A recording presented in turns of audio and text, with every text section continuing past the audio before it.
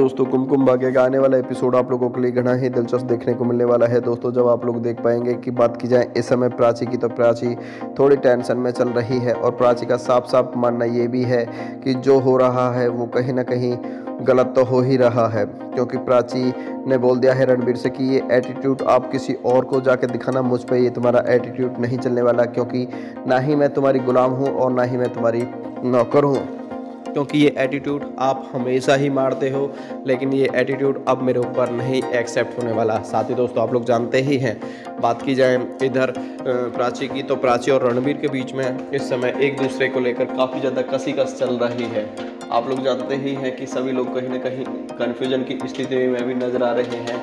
क्योंकि बात की जाए इस समय की तो सभी लोगों को इतना भी पता है कि इस समय जो हो रहा है, वो कहीं ना कहीं गलत तो हो ही रहा है।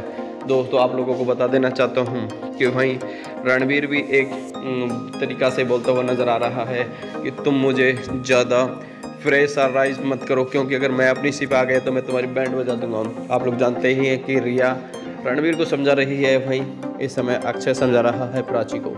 क्योंकि दोनों को किसी भी तरीक़ा से शांत माहौल में ले जाकर समझाने की कोशिश की जा रही है दोस्तों। लेकिन अभी देखना दिलचस्प होगा, क्योंकि सभी लोग कहीं ना कहीं अभी भी कन्फ्यूज़न की स्थिति में बने हुए हैं दोस्तों। साथ ही आप लोगों को बता देना चाहता हूँ कि आने वाली कहानी एक और नया मोड़ लेती हुई नज़र आने वाली है। जब आप लोग देख पाएँगे कि किस तरीक़ा से बात की जाए प्राची की तो वो थोड़ा टेंशन में ज़रूर है, वो भी खुशी को लेकर। क्योंकि दोनों ही खुशी को लेना चाहते हैं, इधर रणबीर भी और इधर रणबीर के साथ साथ में इधर प्राची भी। साथ ही दोस्तों, मेरा नाम है रोहित नागर। जी हाँ मेरे यूट्यूब चैनल को आप लोग सब्सक्राइब करने के बाद में वीडियो को लाइक करें कमेंट करके ज़रूर बताएगा इस कैसे लग रही है मेरी video thank you so much